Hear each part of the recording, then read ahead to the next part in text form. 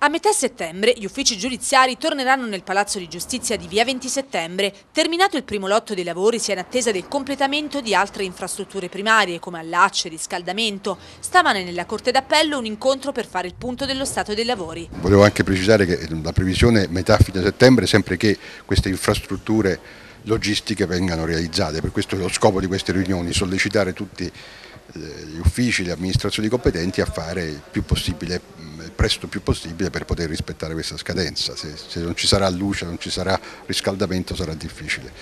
Comunque stiamo lavorando perché queste date vengano uh, rispettate. Presente anche il vicepresidente del Consiglio Superiore della Magistratura, Giovanni Legnini.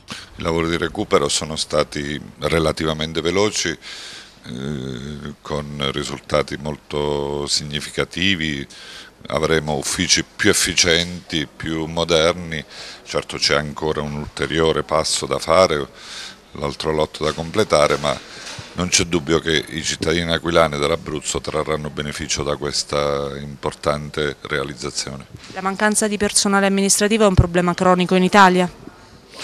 È un problema italiano che il governo sta affrontando, non ci siamo ancora quanto alla soddisfazione del, di tutte le necessità, ma insomma la strada intrapresa è quella buona.